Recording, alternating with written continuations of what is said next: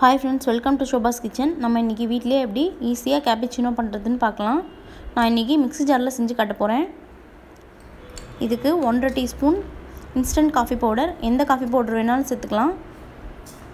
மூணு table spoon sugar ஒரு table spoon தண்ணி சேர்த்து நல்லா அரைச்சிக்கலாம். நான் மறுபடியும் இன்னும் கொஞ்சம் தண்ணி சேர்த்துக்கிறேன். ஒரு அரை டேபிள் ஸ்பூன் இது நல்லா க்ரீமி கன்சிஸ்டன்சி வர வரைக்கும் நல்லா அரைச்சி எடுத்துக்கலாம். இந்த மாதிரி.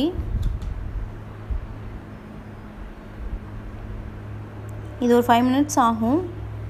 நம்ம கையிலேயே கூட நல்லா மிக்ஸ் பண்ணலாம். ஆனால் கொஞ்சம் லேட் ஆகும். இப்போ ஒரு கப்பில் சூடான பால் சேர்த்துக்கலாம்.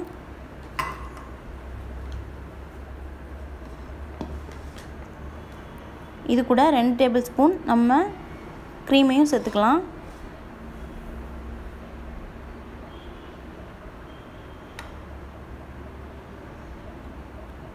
நல்லா மிக்ஸ் பண்ணி விட்டுக்கலாம்.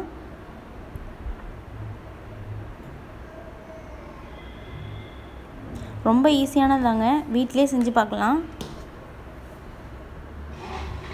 ரொம்ப நேரம் ஆகாது. ஒரு டென் மினிட்ஸ் தான் ஆகும். இதுக்கு மேலே டெக்கரேஷனுக்கு கொஞ்சமாக பால் தான் சேர்த்துருக்கேன் நான். காஃபி பவுட்ரு கூட தூவி சேர்த்துக்கலாம். ரொம்ப ஈஸி தாங்க. வீட்டில் செஞ்சு பாருங்கள் தேங்க்யூ ஃப்ரெண்ட்ஸ் நம்ம சேனலுக்கு சப்ஸ்கிரைப் பண்ணுங்கள் ஷேர் பண்ணுங்கள் தேங்க்யூ